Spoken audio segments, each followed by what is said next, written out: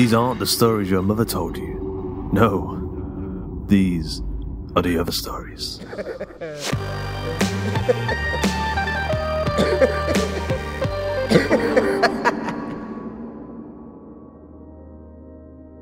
Today's episode of The Other Stories is Cephalocide, written by Alex Wakeford and narrated by Justin Fife.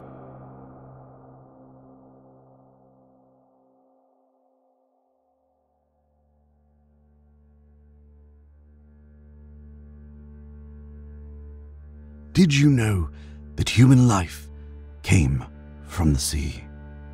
Clouds of dust and gas collapsed to create the solar system. Cosmic forces formed the cauldron of ingredients that would compress particles, heated by supernova, violent collisions with asteroids and comets, cooling over countless millennia. Hydrogen and oxygen mixing to bring forth the fluid of life water. Within single celled organisms sprang into being, gaining complexity over billions of years as they became multicellular, filling the vast oceans of the planet Earth with an abundance of life. That's where we began, 540 million years ago. Our common ancestor known as Saccorhytus coronarius. If you were to look into a mirror back then, you would see what almost looks like a human head with no eyes or nose, just a broad mouth layered with multiple rows of rounded teeth and a series of conical ridges ringing the head like crown. You would be looking at the very first stages of evolution before life crawled its way out of the ocean and through the mud. It is with some poetic irony that we look now at the state of our planet and find ourselves returning to our ancestral home after losing our ability to survive and thrive within it.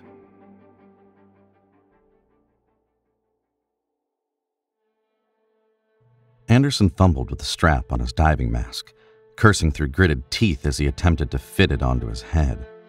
He didn't know how Marin had managed to screw it up, but he always did. It would either be left too loose or squeezed so tight he feared the pressure might shatter the lens into his eyes. He was only half listening to the program on a battered old television that had been ungraciously duct taped to an open cabinet to prevent it from falling out as the boat cantered over the water like an undisciplined horse. The documentary came to an end, and after the credits, a newscaster appeared. His face scrunched as a torrential storm was blown the direction he was facing, standing atop what remained of the San Francisco seawall. After the ice caps had melted in 2053, it had not only caused the sea level to rise across the planet, but it unleashed a myriad of primordial bacteria that, in addition to the increased density of salt water, ravaged farmland and coastal forests, turning once fertile land into deadly marshes or salt flats. Where cities became the last redoubt for human settlement, coastal refugees lining the streets with nothing but the clothes on their back, disease and famine quickly followed, worsened by storms causing more flooding than the underfunded and archaic drainage infrastructure could handle. Weathering a storm was one thing, but living the reality in the sum total of decades to failure to address a century old issue was quite another. And so, it was through gritted teeth that Anderson endured whatever comparatively minor inconvenience Marin threw at him, intentional or otherwise. The salvager life was far from glamorous and even further from respectable, but there wasn't a single thing about being a city dweller he missed. The view on deck above only further consolidated that feeling. Towers and apartment blocks remained standing in the middle of the sea like headstones for a mass grave, with houses, gardens, statues, shops, and even schools, all lost to the deep. The three divers, himself, Marin, and Varl, methodically checked their gear as they waited for the clock to strike 11 and sync their heads up displays to track each of their vitals. Fortune had favored them as gray clouds parted and the light from the sun shone through. penetrating the water to allow for better visibility. Scanners could map routes and camera drones could scout areas of interest, but the captain, himself a grizzled caricature of an old world seafarer, insisted that it was a sailor's eye that would see the glint of real treasure. That, he claimed, was how he knew to find what had allegedly been an affluent neighborhood around Long Beach and Los Angeles. Tragic as the loss of whole towns and cities was, for Anderson, there was a kind of beauty to the oceanic world that opened up before him as the divers plunged into the water and got what had been previously been described as a bird's eye view. Distant highways covered in multicolored marine flora, clusters of purple coral, brushes of red sea wisps, forests of kelp. They looked like veins connecting across the body of a vast ecosystem. Their target was perhaps the most ostentatious of their recent run of salvage operations. As they swam closer, Anderson imagined how it must have looked in its prime a side turned monolithic slab, its featureless, off white exterior providing a faux brutalist facade that would no doubt contrast the extravagance within. Light that shone on the 200 foot pool would reflect on the underside of the equally long house, the perfect place to spend the day before gathering around the circular sunken fire pit, complete with built in sofa seating and compartments for stores of wine. Entry was easy enough, as this abode had been lost long before the rich had begun turning their homes into fortresses. Swimming up the spiral staircase from the underside, the three divers emerged into a corridor that ran the length of the house, lined with sturdy hardwood flooring, which turned off into the various rooms like a train carriage. Perhaps the most peculiar feature of this corridor was the extensive aquarium, a concave glass display spanning the length of the back of the wall that was full of octopuses in all different kinds a blue gray seven armed octopus, a California two spot, several venomous blue rings, and others Anderson had never seen before. If there had been other sea life within the aquarium, they had no doubt been consumed by these starving cephalopods. Some had evidently resorted to cannibalizing their smaller pygmy brethren, as half a dozen partially consumed corpses had sunk into the floor. It seemed needlessly cruel to have this aquarium in the first place, let alone keeping them locked in here now that the house itself was fully underwater. Anderson stared into the eyes of the largest, the giant Pacific octopus, noting the impulse to anthropomorphize creatures in nature by applying human emotions to them. But these creatures were intelligent. There was surely some recognition of the story, lot, and life they had found themselves in the world just beyond the glass that, he supposed, belonged to them once more. Anderson signed to Marin and Varl to find a way to open the aquarium. Marin nodded, seemingly having had the same thoughts, and began searching for a release hatch. Varl, however, paused for a moment, his gaze directed at something Anderson couldn't see. He drifted over and tapped him on the shoulder, signing a question.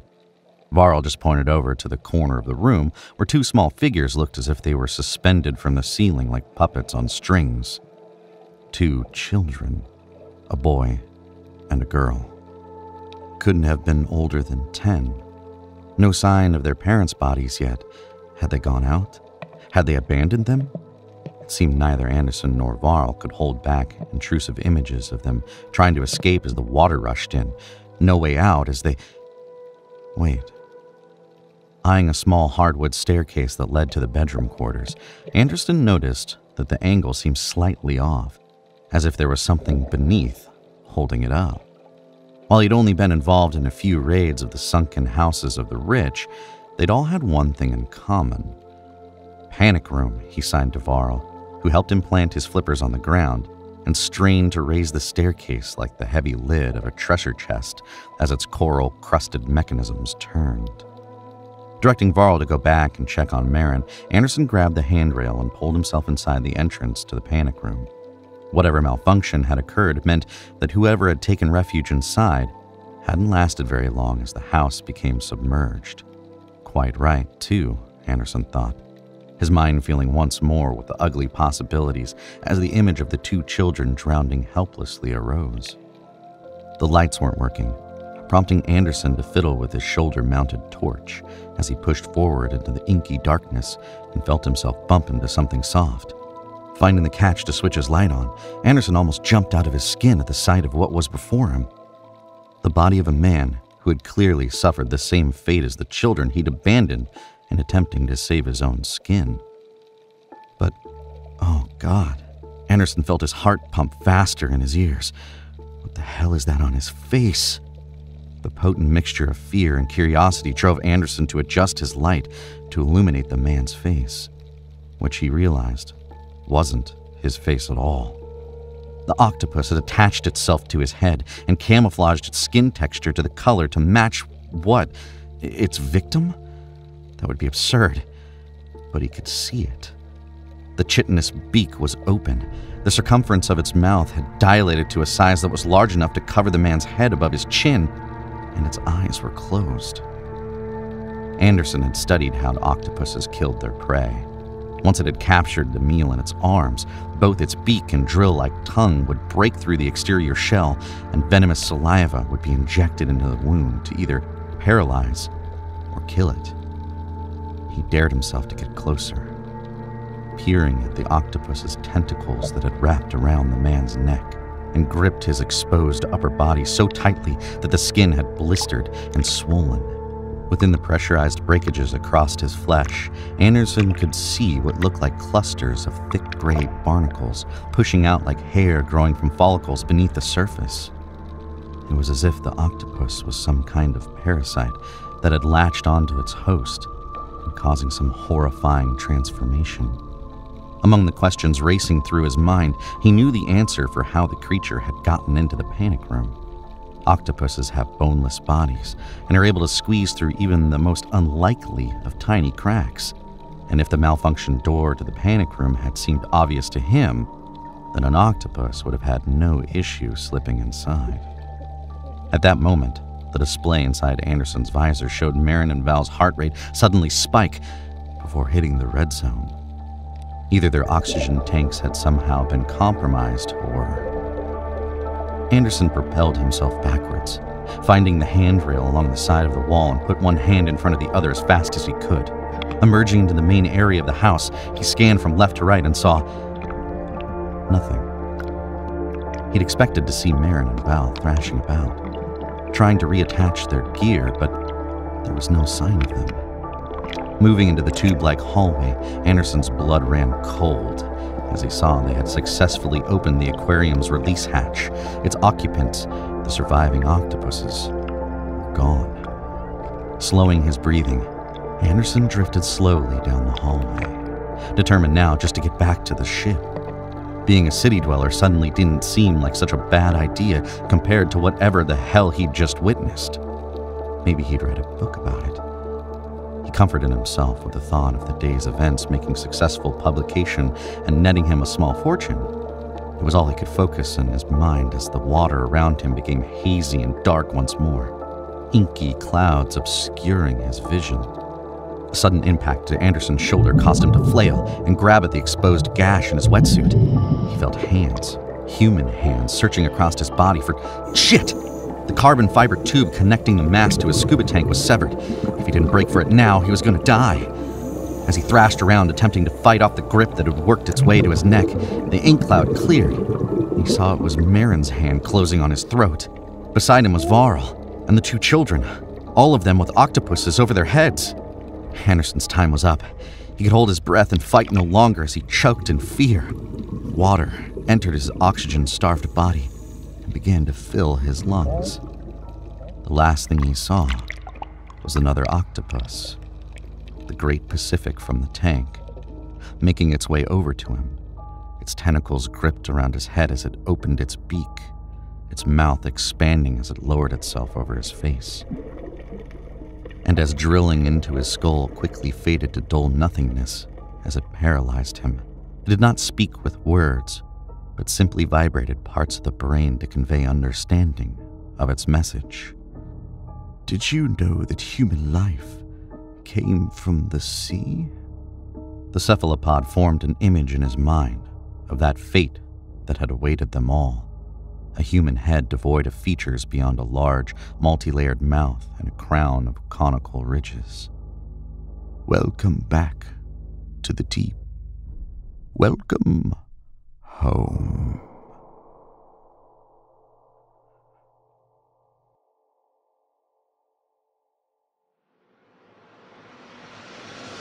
I hope you enjoyed today's episode of The Other Stories. Cephalocide was written by Alex Wakeford, narrated by Justin Fife, edited by Duncan Muggleton with music by Kai Engel and Thom Robson, and sound effects provided by freesound.org. The episode illustration was provided by Luke Spooner of Carrion House. A quick thanks to our community managers Joshua Boucher and Jasmine Arch, and to Carolyn O'Brien for helping with our submission reading. And of course to Ben Errington for those content free pointers he scores from the social media basketball court. He's also, weirdly, on his way to my house right now to kill me. you can follow Alex Wakeford on Twitter at www.twitter.com forward slash Haruspis. That's H A R U S P I S. Justin Fife is a voice actor and podcaster. You can follow him on Twitter at www.twitter.com forward slash Justin B. Fife. The Other Stories is a production of the story studio Hawk and Cleaver and is brought to you with a Creative Commons Attribution, Non Commercial, No Derivatives license. That means don't change it, don't sell it, but by all means share the hell out of it. So, until next time.